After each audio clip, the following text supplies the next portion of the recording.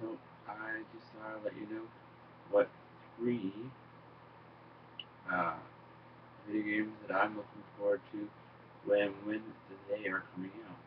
So first off, Arkham, uh, Batman Arkham Knight, coming out October 14th.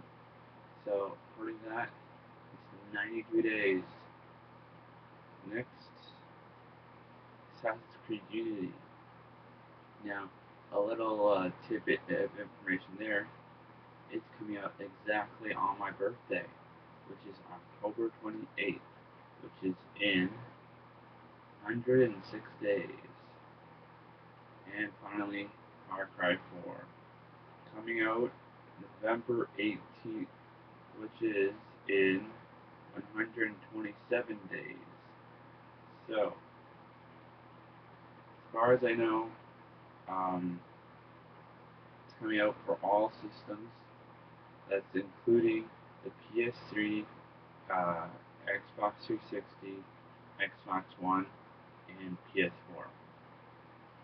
Now, I don't know if it's coming out for the PC yet, but if it isn't coming out, then then it should be coming out fairly soon afterwards.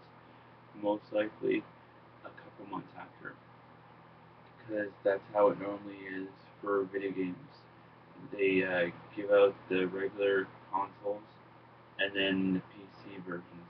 And I, if I remember correctly, the reason why is because the PC's normal uh, versions or Mac versions, whatever, um, they normally have a little bit more bugs to deal with, so they have to go through all that to make sure it's okay.